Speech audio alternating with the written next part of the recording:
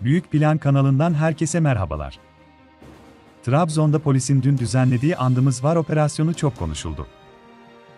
Danıştay'ın okullarda öğrenci andının okutulmaması yönündeki kararıyla ilgili tartışmalar sürerken Trabzon Emniyet Müdürlüğü şehirde Andımız Var adlı uyuşturucu operasyonu düzenledi.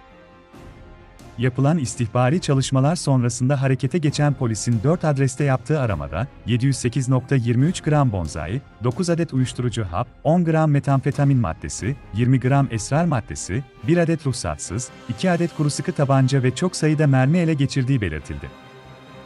Operasyonlar sonrasında polisin aramalarda ele geçirilen mermilerle andımız yazıldı. Türkiye, Trabzon İl Emniyet Müdürü Metin Alper'in adını 2020 yılının Ocak ayında Trabzonspor Teknik Direktörü Ünal Karaman'la yollarını ayırınca duymuştu.